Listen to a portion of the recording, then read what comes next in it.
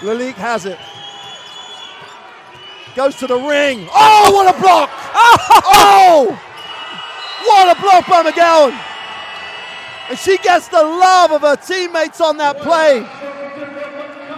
And defensively, here it is. I think that's a pretty good block. that's like a- Lelik drew some contact.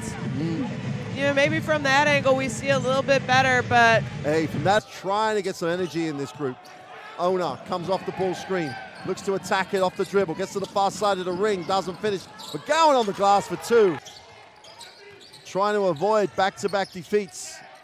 McCowan deep and gets the easy two. Maintaining this eight-point advantage, but it does feel better for Turkey at the start of this third quarter. Got to go in there.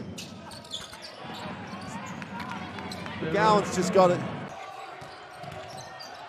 That steps through, tries to find a tar. There's no way then. Had and why wouldn't she be the person to bring back that momentum? McCowan just blocks that as Lily went to go to the reverse layup. Just- Turga, Byron, McCowan needs a touch, gets a touch. They're going one on one, this time off the glass for two. Good call by her to make the finish that time. 3.1 possession.